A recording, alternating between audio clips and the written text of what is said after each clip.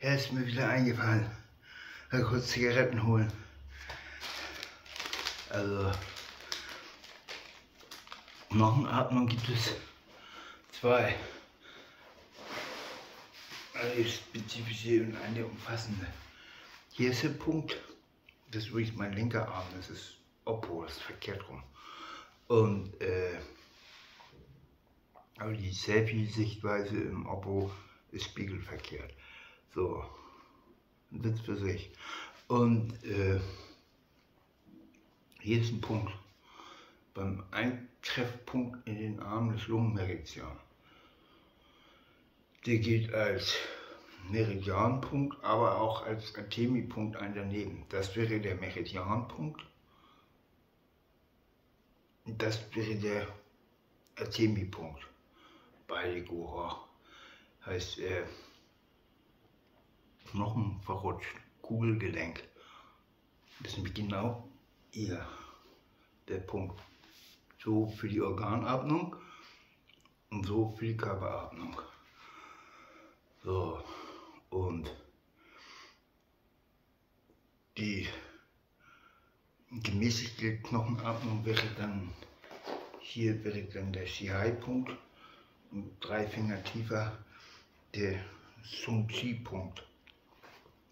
Übrigens peinliches Thema, wenn die, Shihai, hier sind drei Schriftzeichen und Shihai und mit Santien und auch rumspielen und sechs Schriftzeichen für Rücken und Bauch und neun für den großen Kreis und 24 für den Meridiankreis von Rückenstrecker und Bauchstrecker.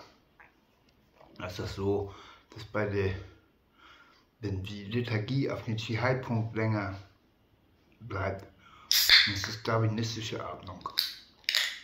Und genau der Song-Chi-Punkt löst den darwinistischen Zwang aus, also lässt einen das wieder selber entscheiden, ob man sich darwinistisch bewegt oder nicht. Und wenn man in den Eastern, in den Shaw Brothers, also alle, die diesen Song-Chi-Punkt praktiziert haben, die wurden schwer verfolgt und getötet mit so einem Keks. Wurden die alle getötet. Und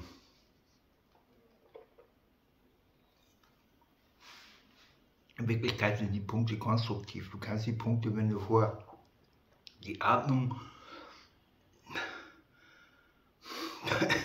ja, so albern das ist, Kung Fu ist eigentlich Mord verboten, dann ist Mord auch was verstellst. Einatmung und Ausatmung verstellst. Dann kannst du durch manche Akupunkturpunkte töten. Das sind dann aber nur drei, vier oder fünf Stück und die anderen sind alle rein konstruktiv, nur zur Gesundheit. Eben die Artemi-Punkte auch. Das sind alles äh, Körperkorrosion im Leben und Auftreffpunkte des des Destruktiven, die unseren Körper entstellen und die man sich als Punkt festlegen kann. Da ist es ziemlich freies Spiel gelassen. Bei den Meridianen nicht, sind die Punkte ziemlich festgelegt und bei der Artemi-Punkte ist ziemlich freies Spiel gelassen.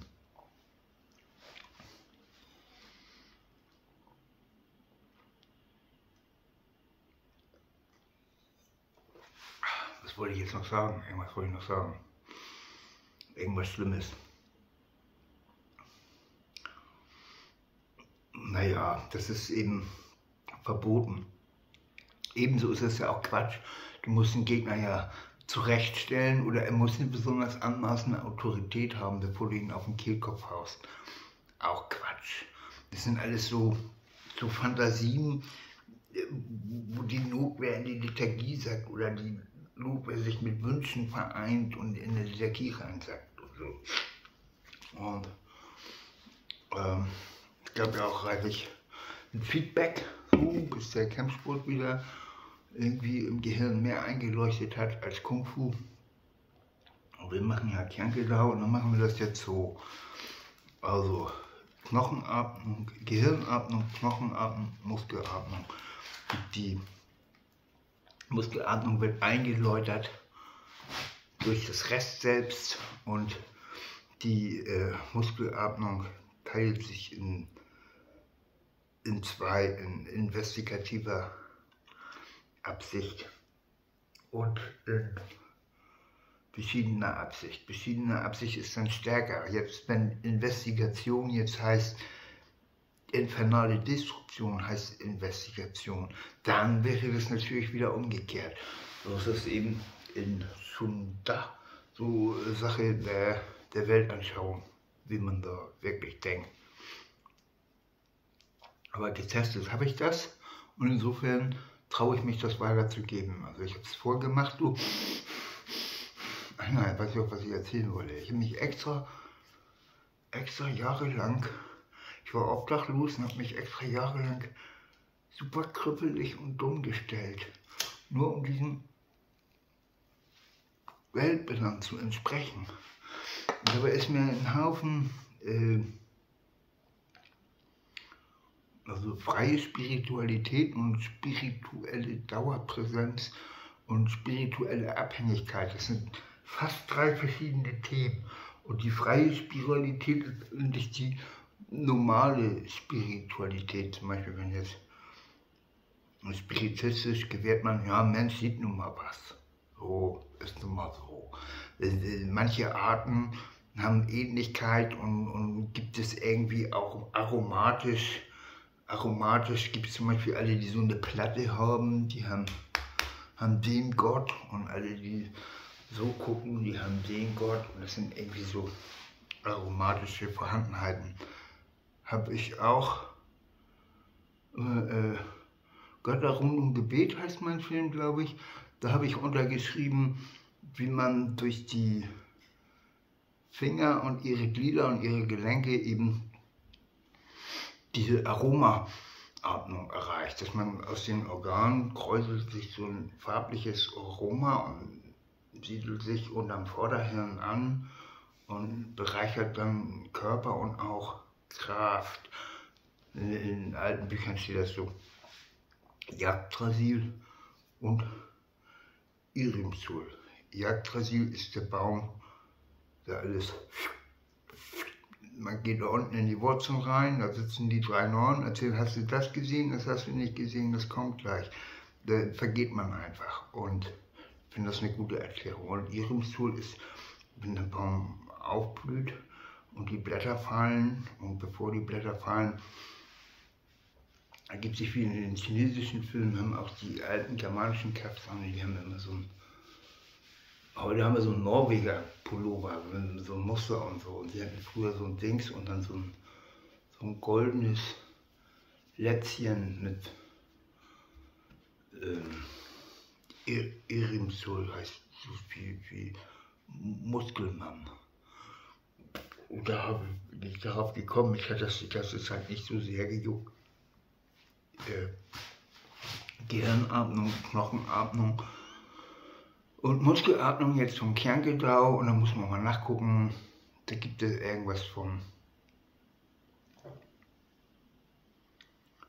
Shaolin und ich glaube auch Buddhismus ein Thema drüber. Ich glaube, das betrifft speziell chinesisches Qigong.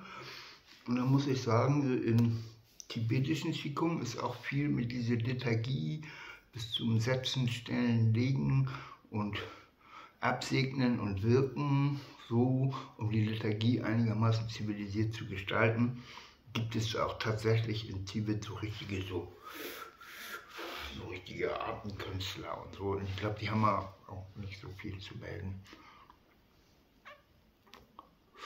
Und die, die, die Kung Fu hat sich ja zu diesem sogar Pacqua und Xingyi zu diesem mantischen Kampfsport gezählt. So. Bin ich irgendwie abgeblitzt, bin irgendwie ausgestiegen. Das wollte ich nochmal erzählen zu Knochenatmung, Gehirnatmung, Knochenatmung und Muskelatmung zum Kerngetau. Nach gesund man, man knackt sich so durch, man wird so ein alter Knacker und knackt sich irgendwie wieder jung. Und viele Knackstellen, da kommt man ja gar nicht so durchgeknackt und da wird einem ja auch was erzählt, neurologisch, osteopathisch. Meistens sind es ja Rückenschmerzen, Nackenschmerzen, sind ja immer genau dieselben Schmerzen. Und ich habe mir das äh, angeeignet durch diese Punkte, Artemi-Punkte Meditation. Ich kann den Körper schon ansehen oder so geht oder so geht, ungefähr was so seine gewaltaktuelle Situation wäre, wo er sich nicht reinbegeben darf, wo er nicht unbedingt hingehen sollte. So. Das will ich mich nicht drüber erheben, weil ich das sehe, dass ich das nicht habe. Aber es ist schön, wenn man sich das erzählen kann, ohne dass man einen irgendwie gleich ewig unter Kontrolle bringt und sagt, wo, da überschätzt du dich, da bist du irgendwie verknackt und dann gehst du besser nicht hin. Das war mal ihr Studio von Kernkedau für Kernkedau für Abendtechnik in Kernkedau.